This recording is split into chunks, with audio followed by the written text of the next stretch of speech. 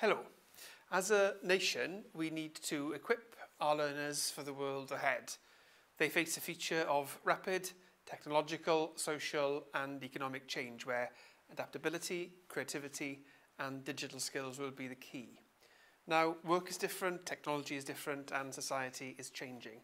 And I'm determined that Wales becomes an international leader in embracing digital technology to support all our teachers and learners.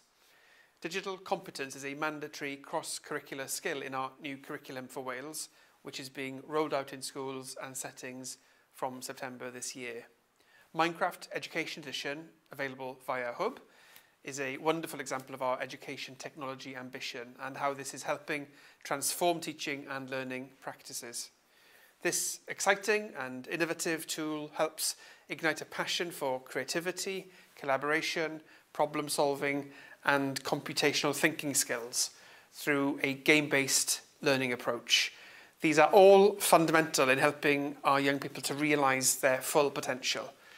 I'm also particularly proud of our globally unique model of hub Minecraft learning centres, groups of teachers from schools across Wales who are harnessing a peer-led professional development approach to enrich their delivery of the curriculum for Wales.